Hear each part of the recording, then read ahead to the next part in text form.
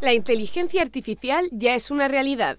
Está presente en nuestros móviles, en los auriculares o incluso en los altavoces. El primer Congreso de Inteligencia Artificial en la Enfermería que se ha celebrado en Elche pretende adaptar esta ingeniería para mejorar la atención enfermera. Las aplicaciones son múltiples. Nos referimos a entornos en los que tenemos sensores, actuadores, elementos de procesamiento que incorporan inteligencia artificial y que ofrecen servicios útiles para las personas.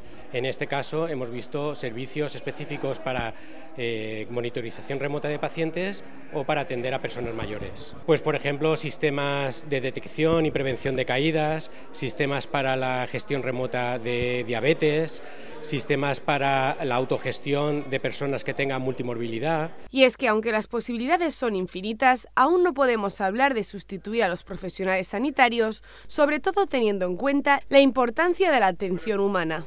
Tendemos a alargar eh, eh, la capacidad de los enfermeros, los especialistas, por el hecho de que tengan que estar recogiendo información de los pacientes. Nuestra intención es, con, este, con la implementación de la inteligencia artificial, es que se pueda automatizar estos procesos para reducir el tiempo que están cada uno de ellos haciendo esto y puedan estar más tiempo con el paciente en sí. Debido al aumento de la tecnología, es muy importante la educación en este ámbito, sobre todo a edades tempranas. Soy un, un impulsor de que todo este conocimiento se haga lo antes posible para todos los padres que todavía no han sido y, van, y o acaban de serlo, porque esto de ver a un niño con una tablet desde muy pequeño es algo que está evidenciado que va a tener problemas a la larga. ¿no?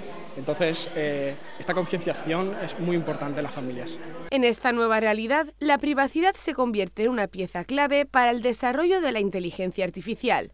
De hecho, el reconocimiento del iris ya proporciona información sobre la salud, edad y todo tipo de datos a diferentes empresas tecnológicas. La privacidad es la principal barrera de adopción para las personas para adoptar estas tecnologías. Es decir, cuando hacemos algún trabajo, las personas lo primero que te preguntan es dónde vas a grabar o dónde vas a capturar datos, cuánto tiempo va a estar almacenado, tengo posibilidad de borrarlos después. La inteligencia artificial ya es capaz de realizar diagnósticos, pero su efectividad no es del todo viable. Por lo tanto, el binomio humano y el de inteligencia artificial de momento es un team del futuro.